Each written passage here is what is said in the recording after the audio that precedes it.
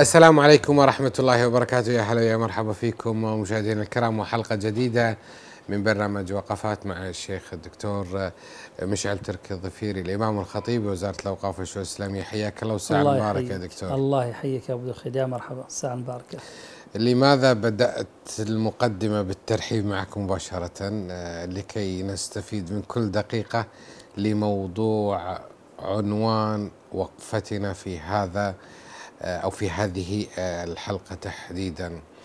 نسميها القناعة أم نسميها الرضا كيف تكون؟ نعم. كيف نشعر بها؟ ومعها حزمة من التساؤلات. نعم. حياك الله أول شيء دكتور. الله يحييك. يا مرحبا فيك في الأخوة والأخوات من المشاهدين والمشاهدات. حقيقة موضوع القناعة والرضا ندمج في بعض وكل منهم يعني يصب في قالب الآخر. القناعة يعني مطلوبة حقيقة والرضا مطلوب لأن كثير من الأمراض اليوم الأمراض ليست فقط أبو دخيل هي أمراض يعني عضوية. العضوية ربما تعالج وتنتهي لكن أعظم من الأمراض العضوية هي الأمراض الأمراض النفسية والمرض النفسي أمراض القلوب. القلوب.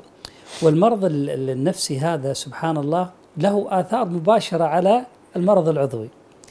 يعني سبحان الله كانها إشارات من العقل والقلب تعطي إشارات للجسم. ولاحظ معي أبو دخيل الإنسان إذا كان إذا كان يعني آه، سبحان الله مهتم ومغتم. غالبا غالب الناس إذا كان آه، عنده هم وغم حتى الطعام إيش؟ لا يأكل الطعام. نتيجة عدم أكله للطعام يضعف إيش؟ الجسم ويهزل الجسم ويصاب بفقد من المعادن ومن الفيتامينات وإلى آخره فتبدأ أمراض تصيب هذا الإنسان. سببها الأول إيش؟ السبب النفسي. ولذلك أنا أرى أن من أعظم الأمراض وأخطر الأمراض التي تمر بالإنسان هي الأمراض النفسية. لأن المرض النفسي سبحان الله يلازم الإنسان. لاحظ كلمة إيش؟ يلازم, يلازم ويصاحب الإنسان تخيل ابو دخيل أنت الآن تذهب إلى تذهب إلى فرح يفترض أنك تكون إيش؟ فرحان ومستبشر بذهابك لكن معك شيء يلازمك ما هو؟ ما الذي يلازمك؟ قلنا الهم يلازمك الشيء النفسي المرض تذهب تسافر تذهب إلى فراشك إلى عملك حتى العلاقات ودخيل معي حتى العلاقات تسوء بينك وبين الناس بسبب ماذا؟ الهم. بسبب الهم. الذي استعاذ منه الرسول عليه الصلاة والسلام اللهم إني أعوذ بك من الهم والحزن. يعني حياتك كلها تتدمر. والسبب؟ الهم. سبب هذا المرض الهم اللي هو إيش؟ عدم القناعة.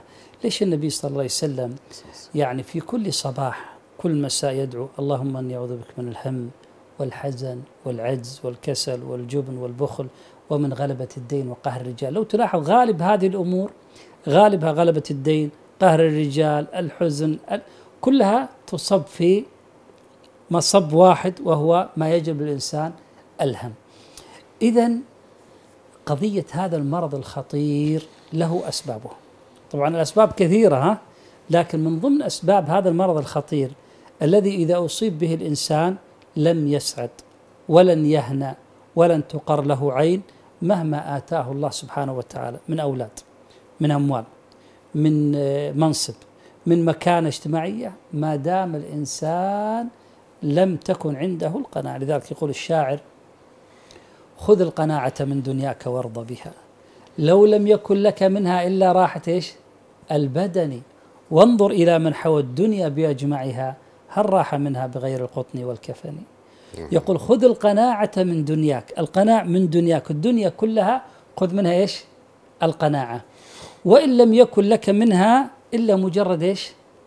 راحة البدن. فالإنسان الإنسان إذا كانت عنده القناعة إذا كانت عنده القناعة عاش قرير. العين مرتاح البال منشرح الصدر. إذا لابد أن نبحث عن هذه القناعة التي فيها السعادة وفيها الراحة. كيف؟ اليوم الناس بعض الناس وليس الكل لا يرضى بما قسم الله له من مال. وهذه عدم قناعة. لماذا فلان عنده كذا من الأموال وأنا عندي كذا؟ هي واردة. خلينا نسقط في مجتمعنا دكتور. طيب. ال ال ال ما يعجب العجب. إي نعم. هذه نسمعها. عنده فلوس فلان راتبك آه هذا ليش ما يصير مثل فلان؟ فلان عنده تجارة ليش ما يصير فلان؟ فلان عنده ابنه. هي واردة لكن العلاج يا دكتور. نعم. طبعا آه، صحيح العلاج. آه، لكنها قضايا كثيرة يعني سواء ابناء فلان متفوقين في دراستهم ربما يكون فيهم. عيالي إيه، مثلا. إيه. آه، فلان عنده كذا يعني كل مقاييس الحياة لا تقص. تروح فلان صارت بين الأرحام للأسف والله يا دكتور وهذه مصيبة الا من وه- رحم الله وهذه هذه آفة خ- خطيرة إذا كانت بين الأرحام تعرف بودخيل أن نهايتها ماذا؟ التقاطع النهايه شنو؟ تعرف نهايتها إذا كانت بين الأرحام؟ أه بعرف نهايتها إذا سمحت لي بعد الفاصل إن شاء الله نعم تفضل اذا مشاهدينا الكرام فاصل ومن ثم نواصل أهلا بكم مجددا مشاهدينا الكرام وبرنامج وقفات ومجددا اسمحوا لنا نرحب بضيفنا وضيفكم دكتور مشعل تركي ضفير الإمام الخطيب وزاره الأوقاف والشؤون الإسلامية. حياك الله مجددا. الله. يحييك يا مرحبا. تساؤل خرج قبل الفاصل وذهبنا إلى الفاصل وعدنا من الفاصل. وكان الحديث آه، آه، مثال البعض وليس الكل. آه، فلان ليش عنده فلوس؟ أنا ما عندي. فلان ليش عنده فلوس؟ فما بالك فلان هو بعيد فما بالك عندما تكون من الأرحام وانت ذكرت شغلة نسمعها مرة ثانية؟ نعم. إذا كانت بين الأرحام تكون أعظم. إذا كان هذا عدم الرضا وعدم القناعة بما آتى فلان وأعطى فلان تكون أعظم لأن مآلها إلى القطيعة ومآلها إلى التنافر ومآلها إلى الحسد ال الذي ليس بعده علاج. يقول كل العداوات ترجى إماتتها إلا عداوة من عاداك عن حسد يعني كل عداوة ممكن أن تموت هذه العداوة لكن اللي الحاسد حسد مصيبة. مصيبة. لماذا؟ لأن الحاسد لا يرضى إلا بزوال هذه النعمة عن المحسود. هي نقيض الغبطة أن تدوم النعمة لدى الآخر وأن أرزق بمثلها. بمثلها. نعم. فلذلك النبي صلى الله عليه وسلم قال والله ما أخشى عليكم الفقر. لاحظ ما أخاف عليكم الفقر. ولكن أخشى عليكم أن تدخل عليكم الدنيا. ثم بعد ذلك فتتنافسوها كما تنافسوها. فقالوا يا رسول الله نكون كما قلت ونكون كما ذكرت. قال لا بل تتنافسون ثم تتحاسدون ثم تتدابرون ثم تتقاطعون. مرة ثانية يا دكتور. قال بل أو ثم تتنافسون ثم تتحاسدون ثم تتقاطعون ثم تتدابرون. يعني أول شيء تنافس على الدنيا بينك وبين أرحامك بعده يحدث إيش؟ تنافس الحسد وبعد القطيعة والتدابر. خلاص أنت في طريق وأنا في طريق. ما ال- ال- السبب الرئيسي في هذا التقاطع والتدابر؟ هو الحسد. لذلك ينبغي المسلم حقيقة إذا رأى إذا رأى وهذا من العلاج أبو دخيل إذا رأيت نعمة عند إنسان سواء كان قريب أو صديق أو جار أو كذا ادعو الله عز وجل. له قل الله يا رب زيده. الله يبارك له. يبارك له وفقه. لأنك أنت الآن لما تقول هذا الدعاء أنت تعالج نفسك أول شيء. لأن من أسباب إزالة هذا الحسد أن تدعو للمحسود أن تدعو للإنسان هذا الذي عنده هذه النعمة. تدعو له. الأمر الثاني من أسباب العلاج. يا أخي انظر إلى من هو أقل منك.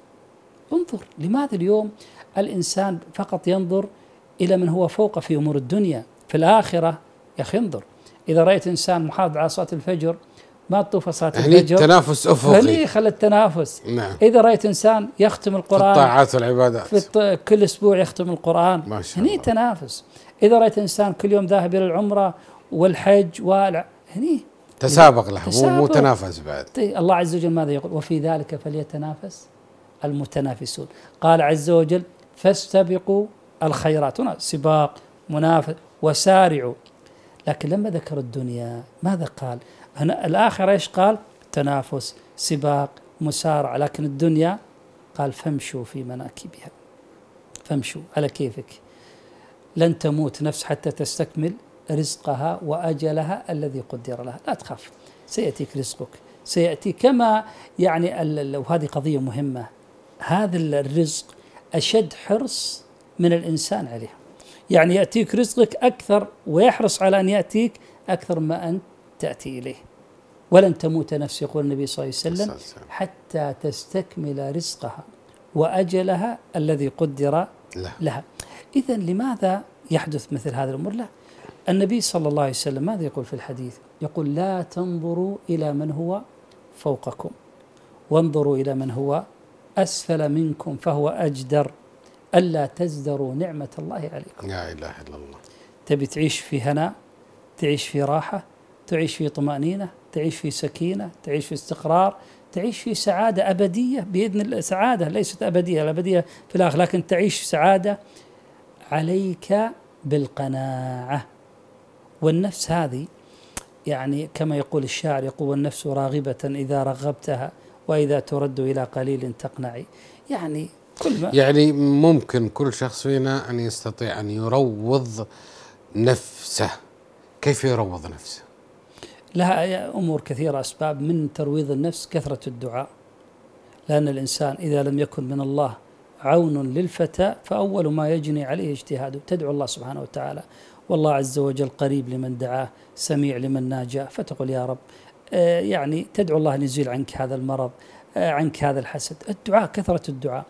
الأمر الثاني كذلك التأمل. التأمل وهي قضية مهمة في نعم الله عليك لأنه المصيبة وين بدخيل؟ هذه مصيبة إذا ألف الإنسان النعمة. بمعنى؟ يعني الإنسان إذا ألف النعمة ما يشعر بها. كيف؟ بمعنى أنت تشوف اليوم تمشي بصحة وعافية ما تظل الصحة اللي عندك. أنت اليوم تذهب تريد أن هذا المقصود بالتأمل. أي- الت- الت- أن يألف الإنسان أي العلم. النعمة. كيف يألفها؟ يعني خلاص يصير تعود عليها. إذا تعودت عليها ما تشعر فيها. يعني الآن لو جيت إنسان مريض مقعد قل له ماذا تريد من الدنيا؟ يقول لك بالصحة. أخذ فلوسي كلها وهي بالصحة سمعنا هالقصص بنختم ب- ب- ب- ب- بجملة كيف تكون؟ آه، الجملة آه، نقول آه، ارضى بما قسم الله لك تكن أغنى الناس. اللهم ارزقنا هذا الغنى دنيا ودين إن شاء الله بما يرضي الله عز وجل ويحبه. شكرا جزيلا دكتور. شكر موصول إليكم مشاهدينا الكرام على حسن المتابعة. اينما كنتم دمتم في حفظ الله ورعايته. فما الله.